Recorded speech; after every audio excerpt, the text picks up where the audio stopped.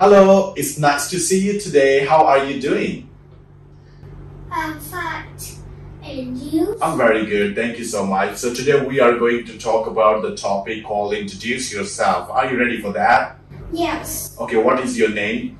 My name is Tom. Okay, Tom. Tom, so tell me, how old are you? I'm seven years old. All right. So where do you live? I live in Hanoi. What is the name of your school? A school's name is Bao. Okay, and uh, uh, which class are you in? I class 105. Okay, so do you have a big family or a small family? I big family. Okay, and how many people are there in your family?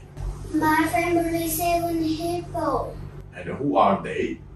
They are grandpa, grandma, sister, baby brother, and me. Hmm, that's nice. So can you tell me about your father? My father's name is Hui. And how about your mother?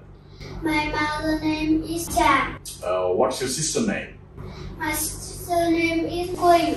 Okay, and what is your hobby? I like swimming. Okay, so what is your favorite food? My favorite food is hot dog. How about drink? And I drink orange juice. And what color do you like? I like black, green, and white. Uh, do you like animals? I like my dog. You like dog. Okay, so thank you so much for your sharing. I'm very glad to spend time with you today. Thank you, teacher.